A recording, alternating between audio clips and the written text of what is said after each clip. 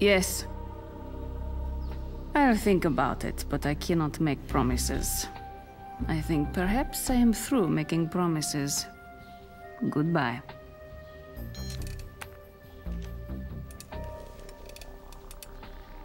Dear Mara, I just wanted to thank you for your help. Without it, I'm sure a lot of innocent people would have died.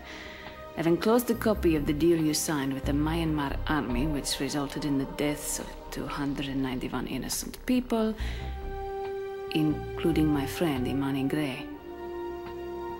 I wanted to let you retire as we discussed, but in the end, the price was too high. I know you'll understand. Signed, Gabe Logan. Good night, sweetheart.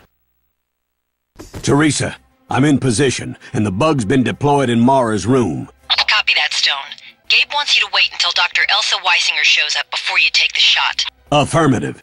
I see Dr. E now. She's heading up to Mara's apartment. We've already recovered Elsa's research, so when you get the shot, take them both out. I hear ya.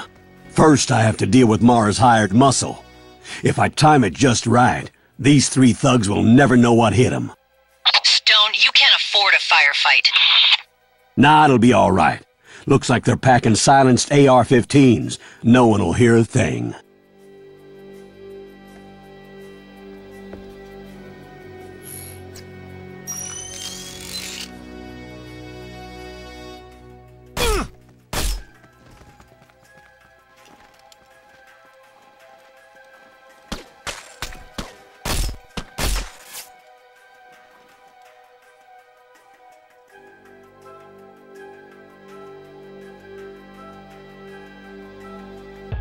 God, that's the last of Mara's hired thugs. All right, let's see if this damn bug is working.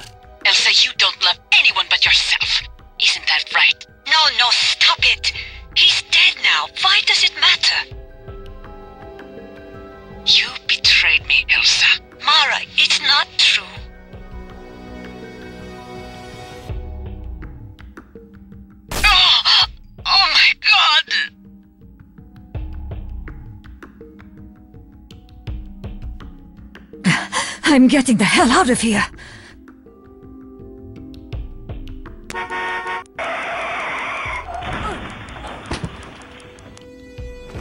Teresa, tell Gabe the DPE has been filled. Target's down. Job's finished. Copy that, Stone. I'll let him know. You know something, darling? What, Stone? As many years Gabe's been trying to take out Mara, it's hard to believe she's finally gone. When it come right down to it, Mara may have been evil incarnate, but she had a heart, just like the rest of us. A heart of ice. The gendarme are on their way. Come home, Stone. Lipan out. Good night, sweetheart.